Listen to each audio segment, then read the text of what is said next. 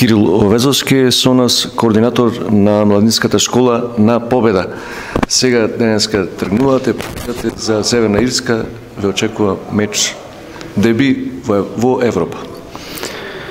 Па мора да бидеме и реални, и позитивно реални, и реално оптимистички, затоа што мора да ги ви кажав и предходно на едно интервју дека екипата на Корелен значи фудбалери играат на во прекрасни услови. Ние на жалост тоа се уште го немаме, се надевам дека наредниот период и тоа ќе се ќе го имаме во обуката на младите категории. А, тие услови ние мора реално да гледаме и на нашиот талент, на вистина што имаме на вистина талентирана генерација. Се надевам дека во овие два надпревари, затоа што ова е само еден надпревар, дека ќе дојде до израз и квалитетот и талентот.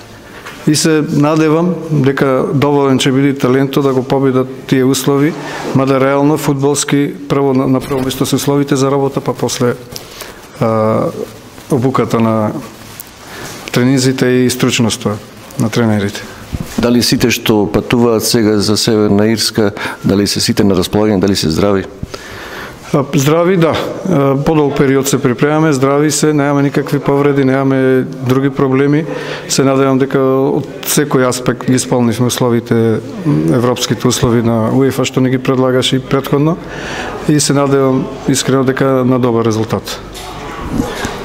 По конкретни информации добивте за домаќинот на овој надпревар?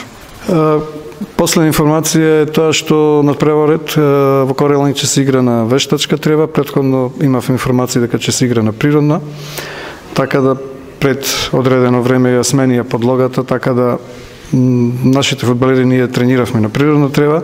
Се надевам дека за брзо време ќе се адаптираме, предходно ќе имаме еден тренинг и се надевам дека нема голем проблем да ни представува.